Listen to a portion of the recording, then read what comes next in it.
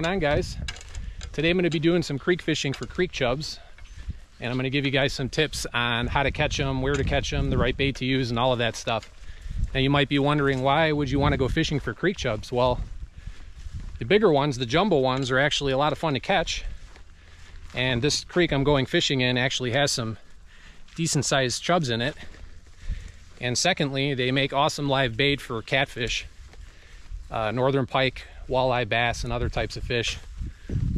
And from what I've been told, they're actually delicious to eat. I've never eaten chub before, but I definitely am interested in trying it. I saw some recipes where you can uh, deep fry them, pan fry them like you would pan fish, and the meat is supposed to be really good. So um, maybe I'll do like a catch and cook in a future video or something like that. But uh, anyways, let's get down to the fishing. All right, so I'm using worms today. They work really good for chubs and catfish. I mean, you can have a chance of catching something else too, but if you want to catch creek chubs, you want to catch them fast, they love worms. So I just use a uh, slip bobber setup, inexpensive uh, styrofoam slip bobber from Walmart. You don't need anything fancy. Put a bobber stop above it, split shot sinker. You could even fish without a sinker, even just a hook uh, would be fine. I like to use sinkers uh, in case there's a catfish or something. I like to keep the bait on the bottom. And there's a little bit of current here too, so that, that does help with the current. But that's my rig, real simple. Slip bobber rigs are awesome. It's one of my favorite ways to fish in rivers and creeks. And when you're uh, doing creek fishing for chubs, or really other types of fish, you just want to find where the holes are. So here you can see the water is really shallow. It's really nice sandy gravelly bottom. And over here it kind of drops off a little bit and there's some shade over on the other bank. And that's typically where you're going to find the chubs, catfish, panfish, smallmouth, you know, other types of fish too. So I'm going to cast into there and see if we can catch some big ones. And tip number two when you're fishing for creek chubs is you want to go in the afternoon. They're more active in the afternoon, at least the adults are. Um, so if you want, want to catch the bigger ones, you have a much better chance of going in the afternoon than you would if you went fishing in the morning. I'll see if anybody's home. Right away. That's a bluegill or sunfish.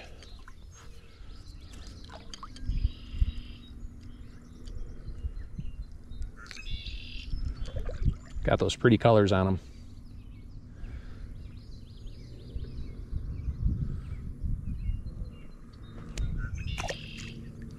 Still got the worm.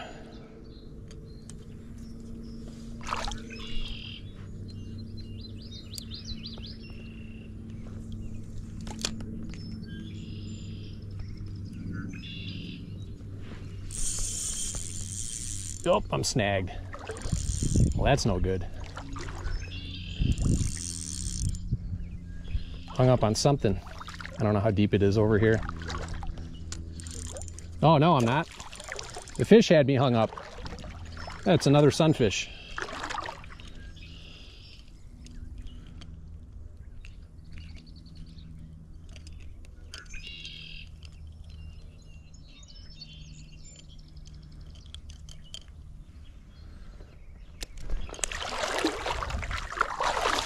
All right, got to get another worm.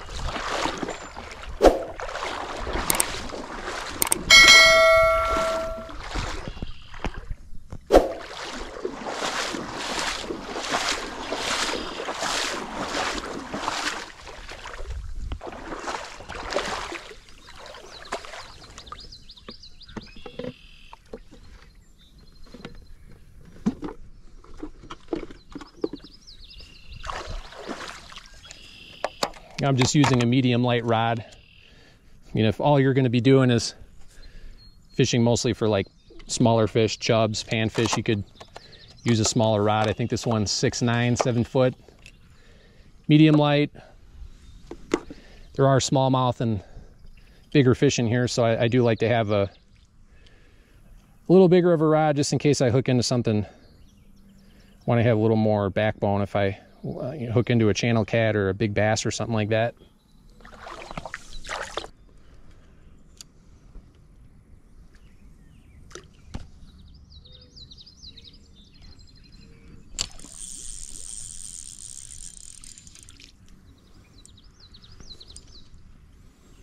No, it's a rock bass. So far, we're not catching any chubs, but hey, whatever. Fish is a fish.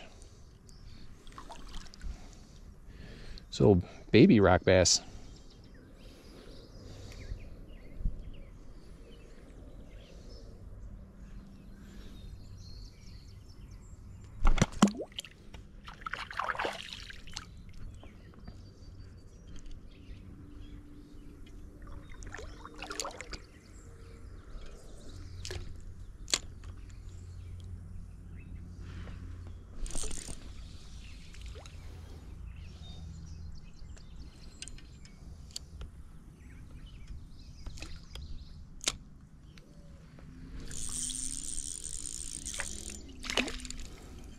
There's a chub. That's the first one.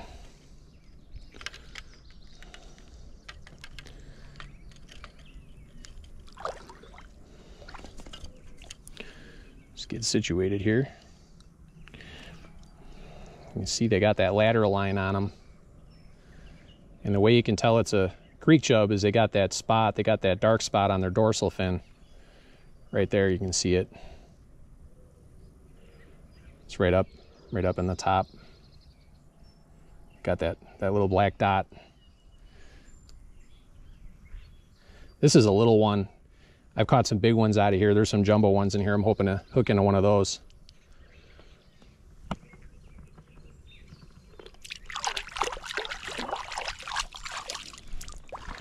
There could be some more fish in there.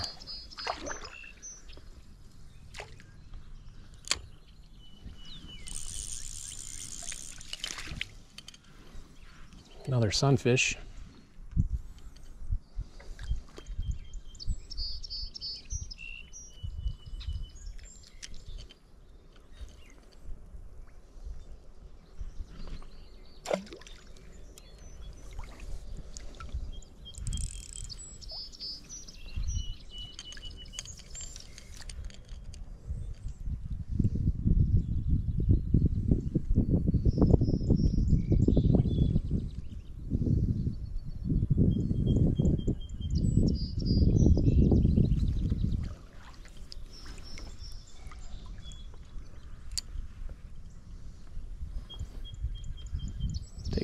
Right at the opening of that creek over there.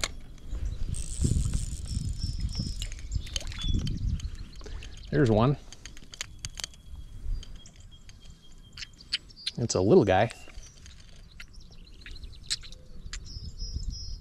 They kind of make some weird noises I noticed too. They kind of similar kind of similar to a cat catfish. They kind of croak sometimes.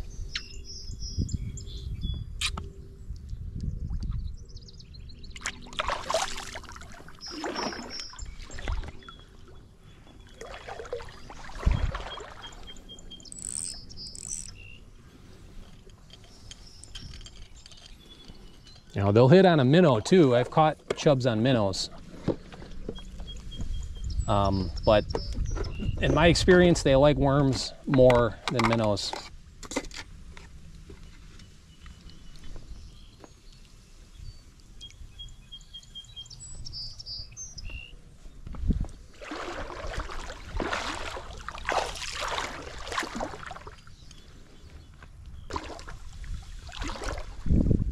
I'm using six pound test,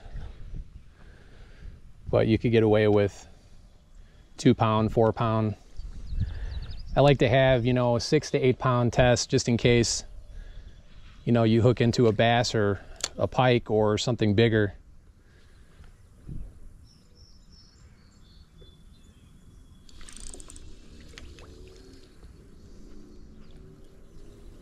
There's a nice little whirlpool back in there.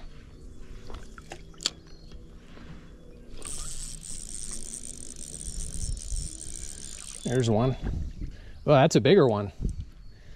That's that's the biggest one so far. But I caught one out of here before that was twice the size of this one.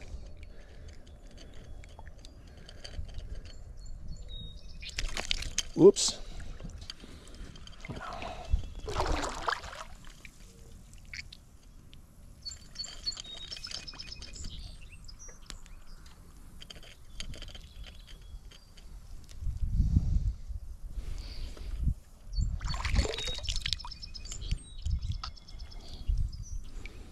Here he is.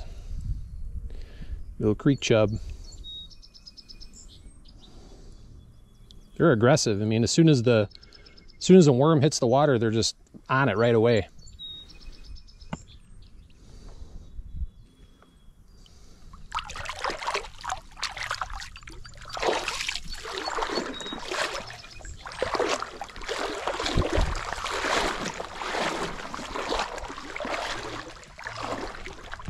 Definitely am interested in bringing a few home sometime and, and deep frying them to test it out and see how the meat tastes. If anybody watching this has ever eaten creek chub, leave a comment below with a recipe or if you you know the meat is any good. Is it worth doing it? Is it nasty? I like using slip bobbers because it gives you a little more control with the depth and I just like, I like watching the bobber go down. There's another chub. That's a decent sized one.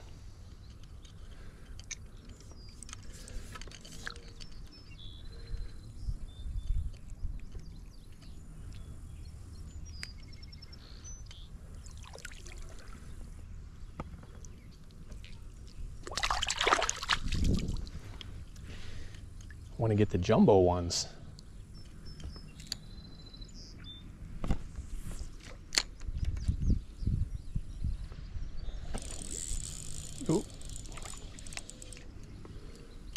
There's a sunfish.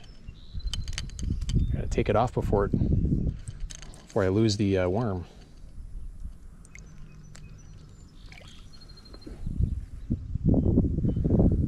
I just love those colors.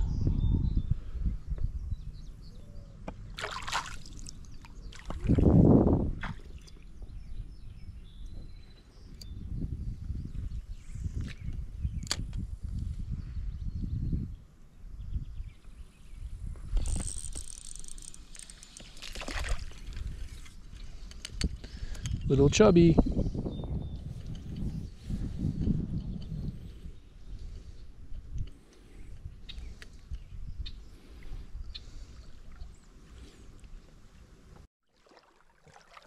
Now I noticed here along the bank there are thousands of minnows schooled up everywhere. So I think what I'm gonna do is I'm actually gonna come back here with a minnow trap and trap some of these minnows and uh, get some free bait. Because I can see, I mean, it's hard to see now because it's kind of shady, but when I first walked up over there, you could kind of see with the sun shining on it, and there was thou literally thousands of minnows swarming in that vegetation. So I'm pretty confident you throw a minnow trap down in there and it's going to be full when I come back the next day. So I, I definitely might try that. Maybe I'll do a video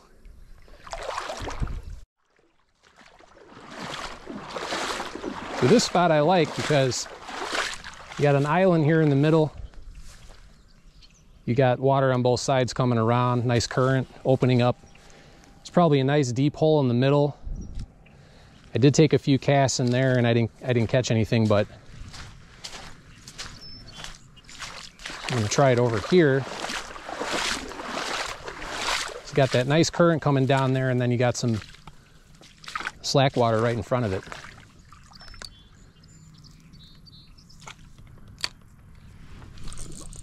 Right away.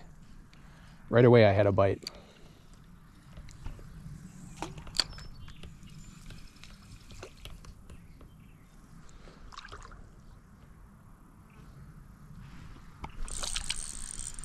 Here's a chub.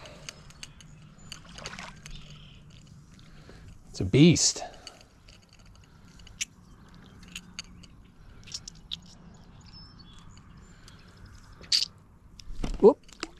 Here he goes.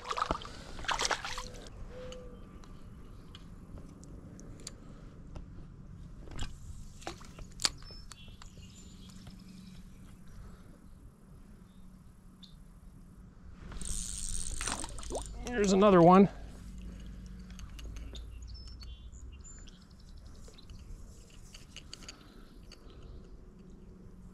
No jumbo ones. I mean, the ones I caught earlier were decent size.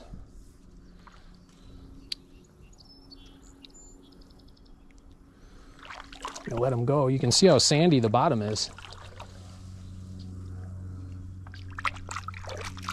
All right, so this area, I like it because you can see on the other side there's a nice uh, shaded area and it's actually deeper on the other side as well. So there's probably fish in there and maybe something else other than a chub too, but I'm happy catching anything. I don't care. It's better than getting skunked, not catching anything at all. See if anybody's home.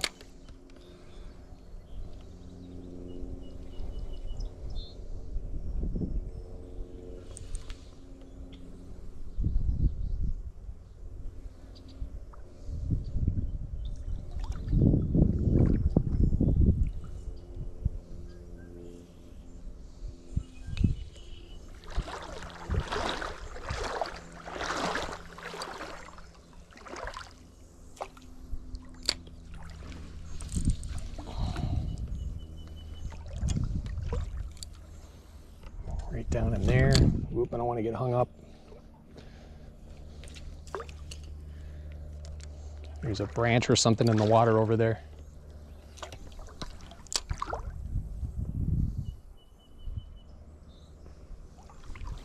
I'm actually going to move over here because there's definitely fish in there. Oh, here we go.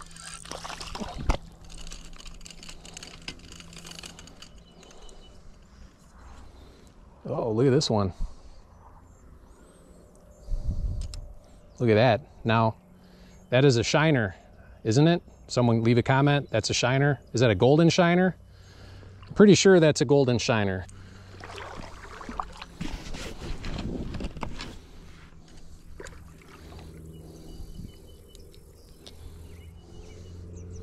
It's got pretty uh, colors on the on the fins on the bottom.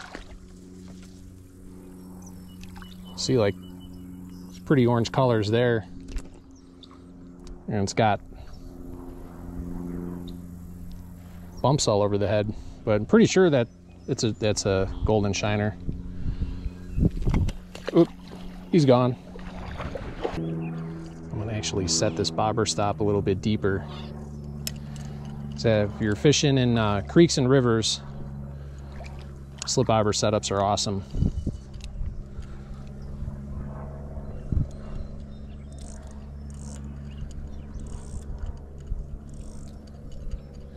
The only thing that's annoying about using a slip bobber rig is that sometimes, like this one is already starting to come loose.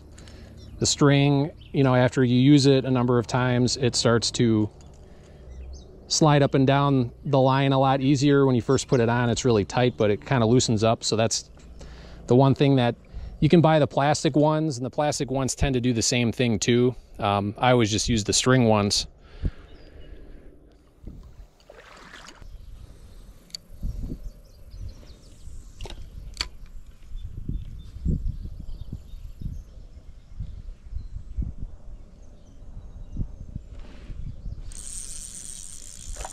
What do we got? Ooh, that's a jumbo there. That is a jumbo, guys. Look at that guy. Big old jumbo creek chub.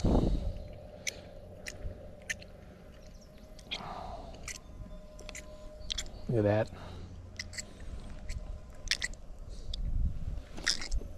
There he is. They're aggressive little fish. We slammed the uh, worm. Fiber was gone.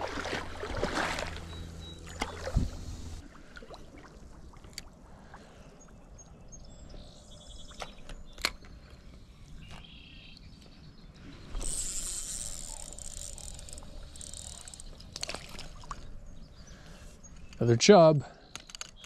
Not as big as the other one.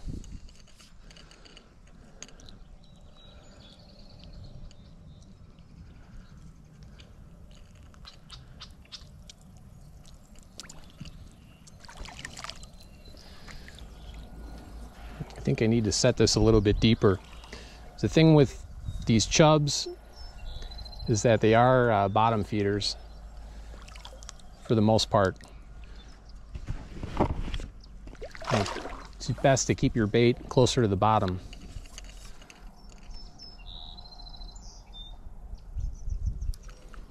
And they don't seem to go in shallow water as much. They like they like these deeper holes, like many fish.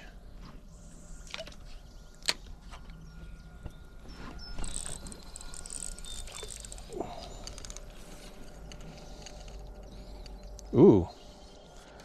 What's this, guys? Is that another, uh... Look at that. I've never caught one of these before. Here, but what is that, guys? Oh, I caught it. See, it's got the, uh, it's got that red mark right there right by the eye. It's on both sides. It's not blood. And the bumps on the head is that it's a different type of chub. That's not a uh, it's not a shiner, I don't believe. To me, that looks like a chub, but it's a different type of chub for sure. I mean, it's got that cool mark on it.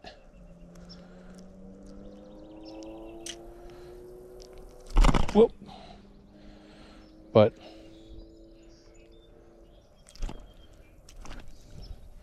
definitely uh, interesting.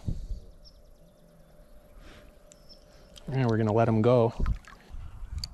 Try it closer to the bank. There we go.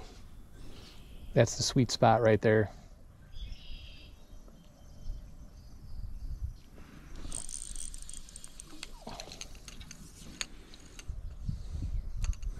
Oh, sunfish.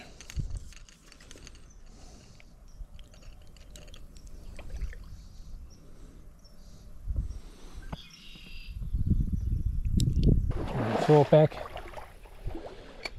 right back in there close to the bank. Oh yeah. There's one. You can see if you got a bunch of these and bring them out on the boat or somewhere else for um, northern or for flathead. It's like candy for catfish.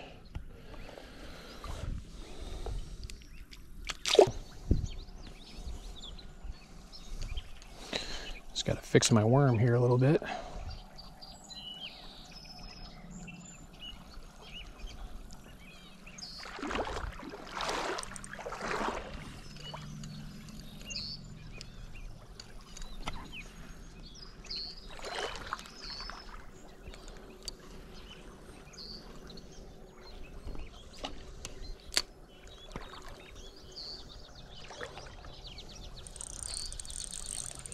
Something. A little sunfish. It's got those beautiful colors on them. Looks like a tropical fish.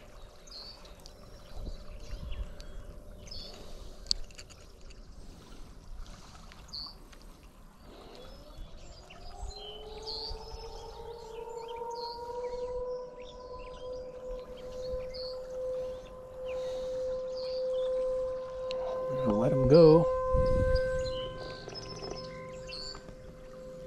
Now, those little whirlpools are always good spots anytime you're doing any creek fishing. Always cast into whirlpools. Because usually fish will, they'll sit right on the edge of the current waiting to, you know, am ambush bugs that fall into the water, whatever. Bass like to hide in there.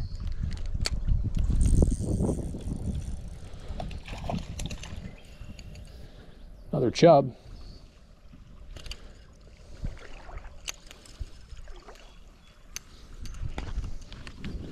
feisty little guys.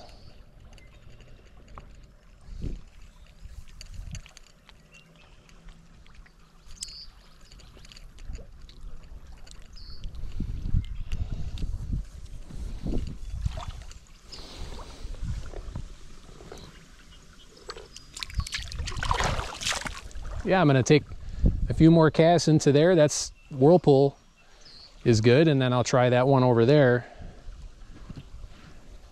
You can see, the water kind of comes down and there's a little drop off right there.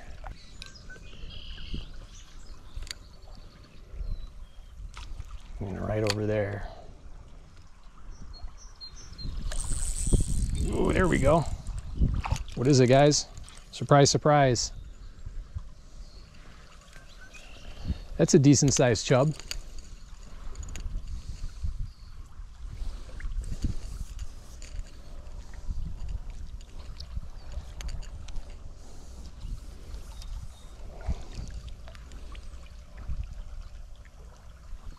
You know, let him go.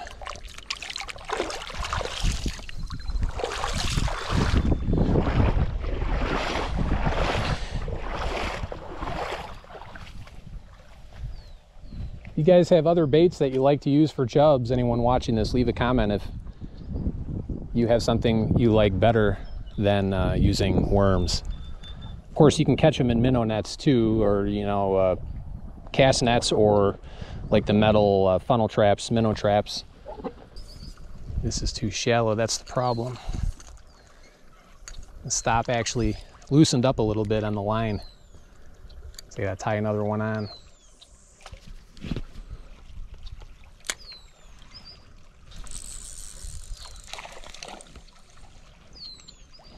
There we go.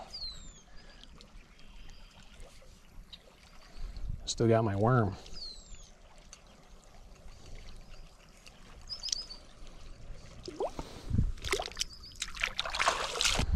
So I'll cast now that I've fixed the bobber stop, I'll cast that right back into there.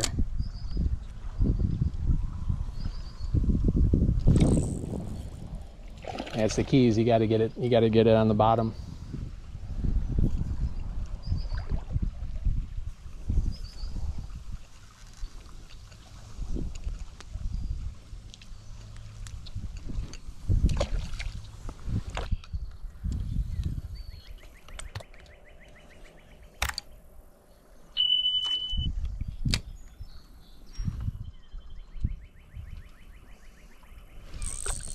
Here's one.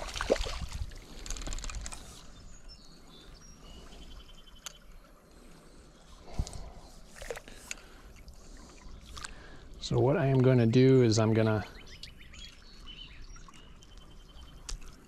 move downstream actually and check out a couple other spots.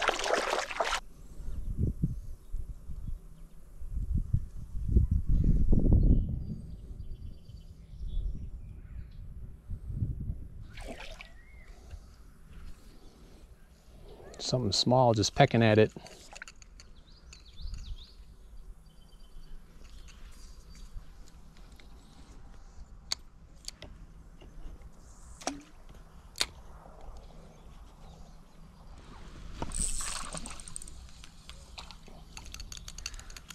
Another sunfish, or a, yep,